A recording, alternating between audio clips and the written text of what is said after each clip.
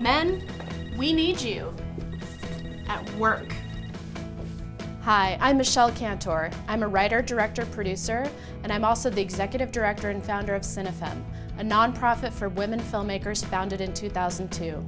We run a variety of programs to help boost women in Hollywood and build sustainable careers, including fiscal sponsorship for women-held films and community building. Ask us how! Ask Cinefemme how you can join us in helping achieve gender parity and creating more opportunities for everyone. Yay!